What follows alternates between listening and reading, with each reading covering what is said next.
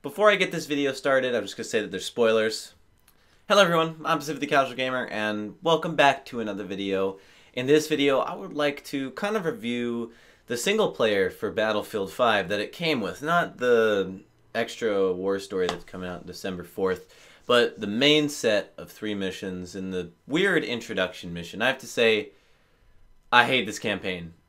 It sucks. All of it. Well, most of it sucks really bad. Now, let me explain. This is a Battlefield game, so you would expect that there would be a lot of battlefields, right?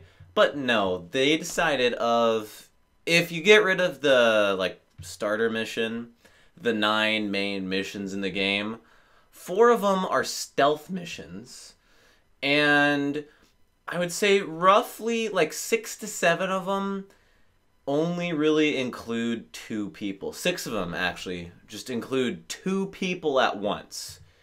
It's really, really weird. And then there's like a couple missions where you hold out stuff, and then there's some actual battlefield missions, which those were the fun missions. Um, so the campaign, the gameplay of it, I would say for a battlefield game is perfectly fine. Um, you don't carry a lot of ammo, so you're swapping weapons all the time. You're trying it out, and the game definitely gives you options when you're playing. Instead of um, letting you pick your gear like it did in Battlefield 4, um, it's kind of like Battlefield 1 where you know you have your weapons and then you run around the map scavenging for other weapons, which I actually personally like. I like that more for some reason. I think it's because I played a lot of Halo, and Halo was all about you know just picking up weapons and using whatever. So I have an like appreciation for that type of gameplay in just video games. So I like that kind of gameplay where you're just running around picking up different weapons and using them. Um, and it's nice because you you can't carry a lot of ammo. This is the, this is a kind of strange design choice. You can't carry a lot of ammo, but every enemy you kill, you can grab some ammo. So it's a give and take. Personally, the way that it works, I think it works just fine. I like it. But um, what's very strange is there's not really, at least from what I played, there's no vehicle segments except um, you get to drive around some cars sometimes. There's no tanks or airplanes, so I'm guessing they're adding that in later. I don't know, but there's no real tanks or airplanes, and it's kind of strange because there's heavy stealth, no vehicles, and um, the the actual AI. I heard that the AI sucks. If you put it on hardcore, the AI is insanely good, like a, such a good AI for hardcore mode, but that's kind of where the positives end. I mean, I guess the the map is kind of open worldish when you play. I mean, it's still linear levels, but the maps are a bit bigger and more open. But other than that, the actual storytelling really sucked in this game. Like the first set of missions, you play as like a convict and you're an explosives guy, and they send you out to blow up some planes, right? Fair enough. But you only do it with one guy the entire game. There's an extra guy with you and he really doesn't do anything except for the last of the three missions and they never revisit the fact that you're a convict. Like they're always like oh you robbed a bank and this and that and the other. But it never went to you trying to rob the bank or it never went back to that after the campaign. It was just a typical you and me are buddy buddy and we're gonna save the day. That's all you really did. It was really strange. Like i kind of wish in that campaign the first one that um, you would go to just I don't know, actually go to the spot where you rob the bank. The second campaign, which is the one that they heavily, heavily advertised, the one in Norway, as a stealth mission, this one made a lot more sense actually because you were nighttime, you were skiing, you were kind of like special ops even though you weren't.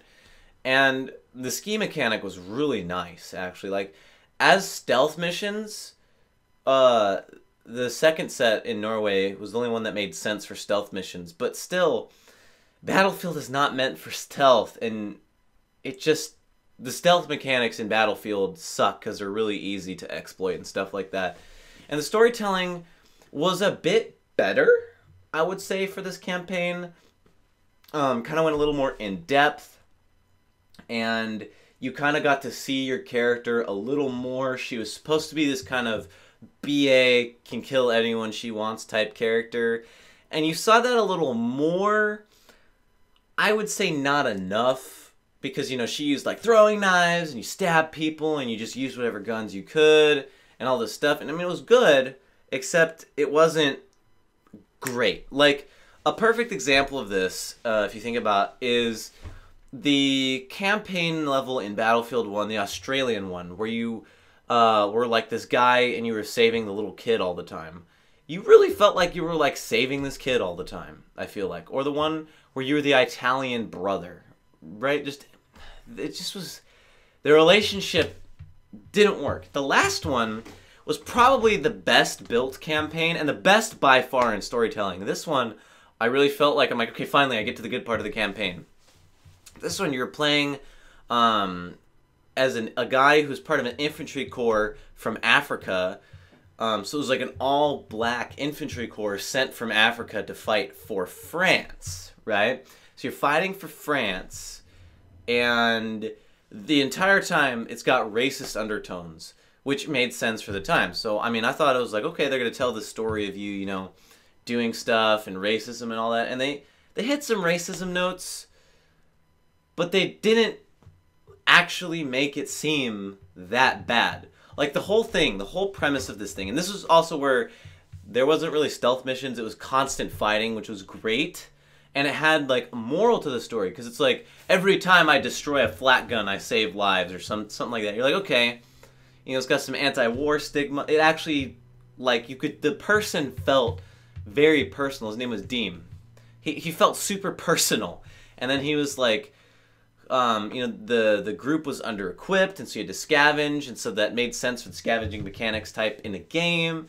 And you know, there was a little bit of racist undertones where they got erased from a picture because they captured a fort, but then got erased from history and all this stuff.